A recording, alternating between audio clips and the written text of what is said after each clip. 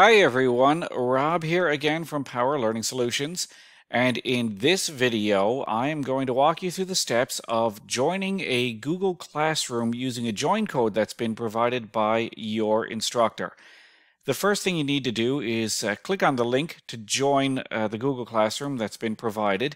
In this case, I have one set up here for one of my grad classes. So I'm going to click on that. I'm going to open it up in an incognito window. You don't need to do that, but I'm going to because I'm already signed into my Google account and I'm already the teacher in this particular class. So I will open this in an incognito window. And then I'm going to actually sign in using one of my Google accounts. So in this case, I'll sign in with my Power Learning Solutions account. And enter my password.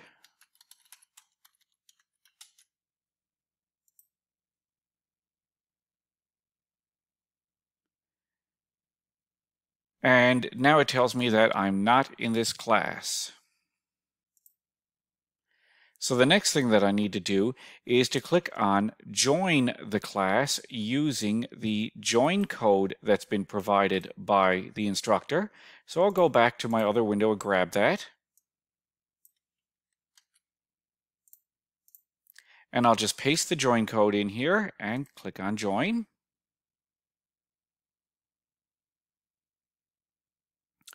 And there we have it. I am now a member of this Google class as a student, and I can navigate around and complete all of the assignments that my instructor has provided for me.